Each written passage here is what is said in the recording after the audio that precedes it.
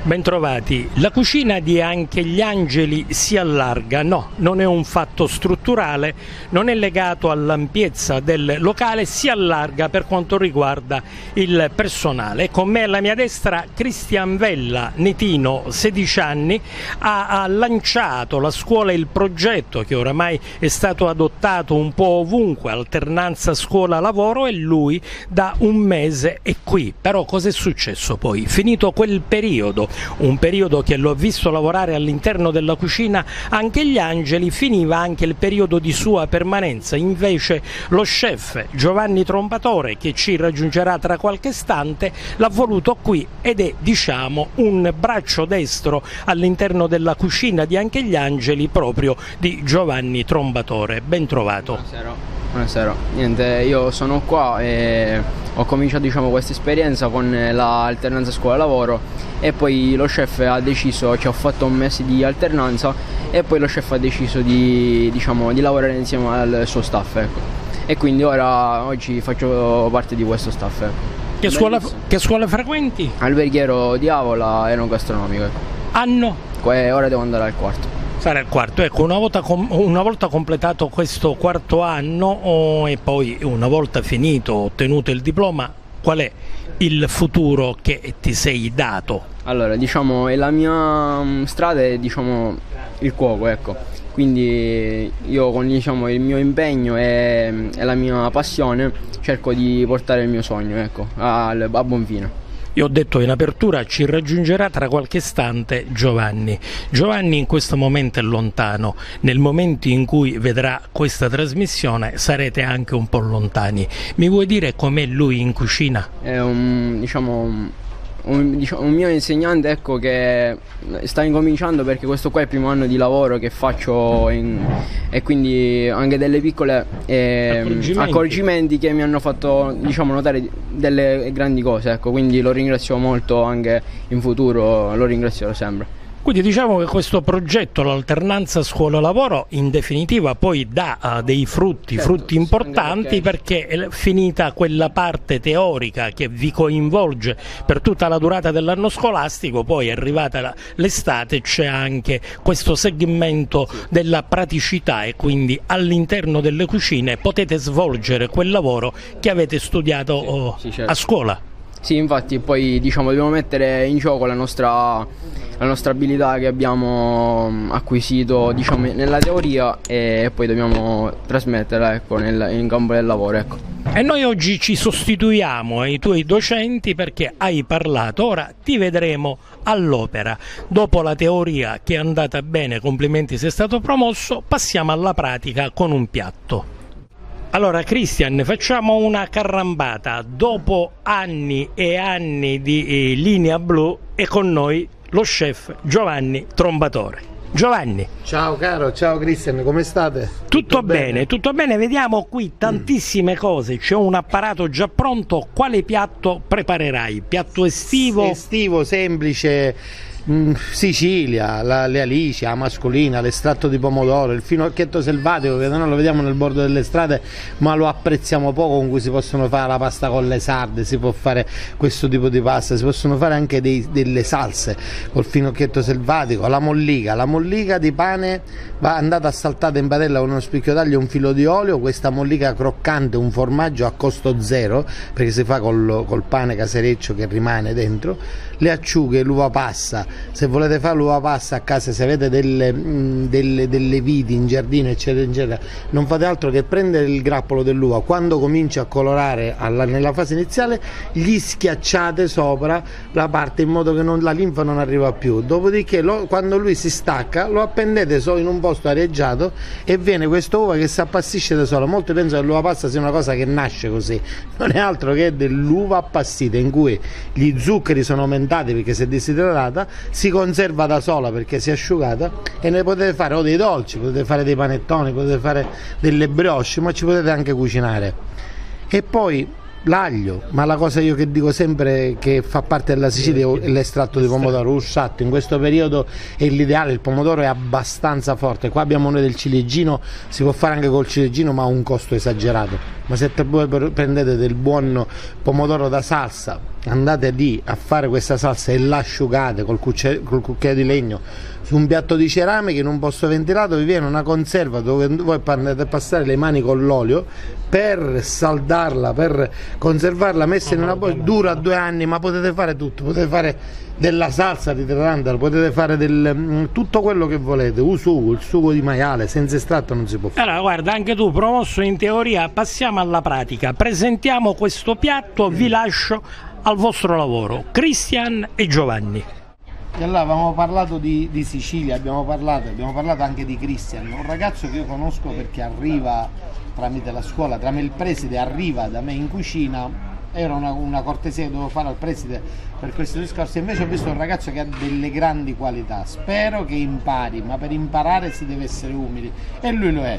Parliamo di questa ricetta Cristian, intanto abbiamo questa lampada che accendiamo, mettiamo un filo d'oliva extravergine, andiamo sul Val di Noto in questo caso, proprio noi andiamo qua in contrada a Primare a Noto, Oliva Live Italo che ci produce quest'olio appositamente per noi con un olio fatto non solo nel Val di Noto, così, ma a Noto. Aggiungiamo delle acciughe che avevamo messo sotto sale prima, le acciughine nostre sotto sale condite con un po' di peperoncino.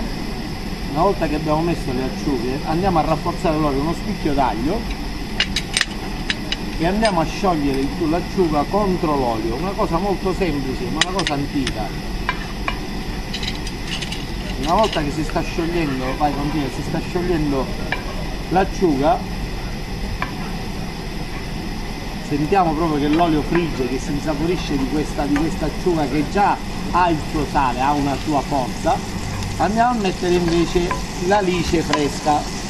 La lice fresca che sono delle licette che noi abbiamo spinato le andiamo a mettere qua che ora vedremo che si spaldano da sole perché prova a contatto con l'olio mettiamo un'altra. Perfetto a contatto con l'olio si vanno a spaldare piatto semplice piatto che non ha bisogno di tante lavorazioni ha bisogno solamente di prodotti di eccellenza. Una volta che noi abbiamo insaporito quest'olio abbiamo messo l'aglio eccetera con un po' di brandy oppure se vogliamo con un po' di vino bianco vecchio andiamo a sfumarlo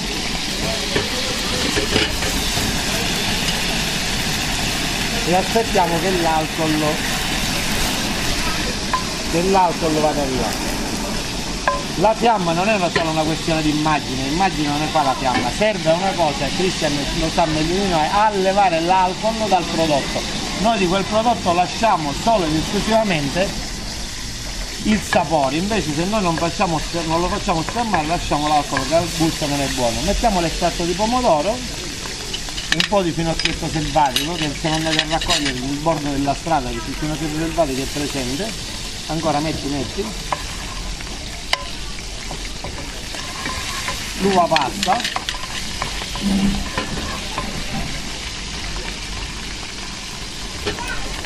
perfetto basta così una volta messo questo, dico questo estratto di pomodoro, la lice, la mascolina, eccetera, eccetera, aggiungiamo un filo d'acqua anche per fare in modo che questa pasta sia un po' più liquida, un po' più liquida perché? Perché andiamo poi ad asciugarla con la mollita e aggiungiamo, la identifichiamo con i sapori dell'estate, un po' di menta, un po' di basilico che non manca in nessuna cucina siciliana ma non manca. Io a casa mia ad esempio ho un giardino in questo momento che il basilico, la mente e i profumi hanno sovrastato anche gli alberi. Perché li pianto in tutti i posti perché amo mangiare proprio con questi gusti e questi sapori. Una volta che noi abbiamo fatto questo sugo dove c'è la lice, dove c'è l'uva pasta, dove c'è il finocchietto eccetera eccetera aspettiamo qualche minuto e abbiamo il piatto già pronto no? che è una salsa con cui andremo a condire una pasta che andremo a finire ad asciugare, siccome abbiamo aggiunto un po' di acqua, con del pan grattato, del pan grattato che abbiamo aromatizzato in una padella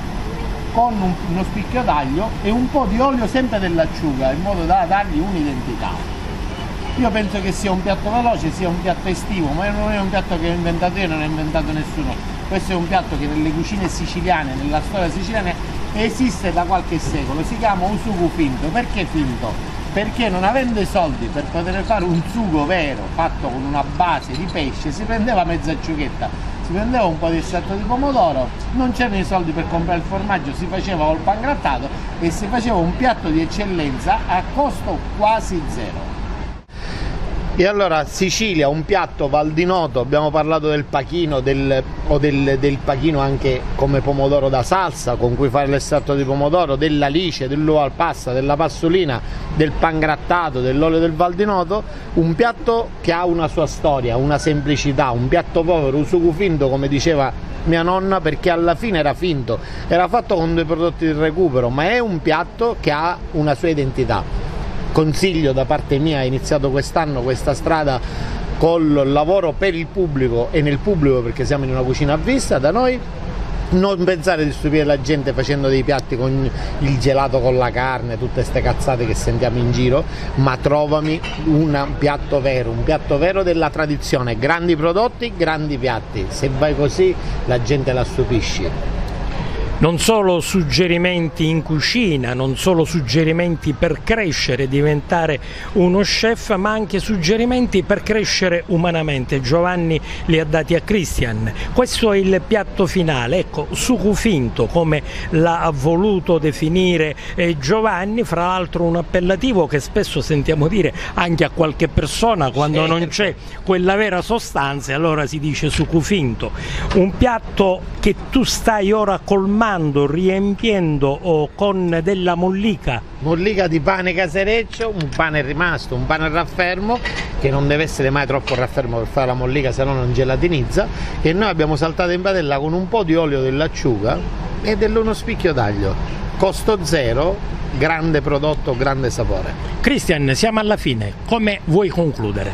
Niente, io spero, come ho detto già prima, io voglio prendere diciamo, questa strada come già l'ho incominciata e, e quindi voglio diciamo, continuare, eh, continuare e sviluppare diciamo, la mia crescita lavorativa di, di, questo settore. Ecco. E le carte sono in regola? Allora, pen pensate, pensiamo anche tutti che Christian ha solamente 16 anni e già è una importante pedina della cucina di Anche gli Angeli. E lavora la cosa più importante è che mentre tanti suoi colleghi, mi dispiace a dirlo, sono in giro al mare, Christian viene qua, lavora tutto il giorno perché vuole imparare e perché gli piace.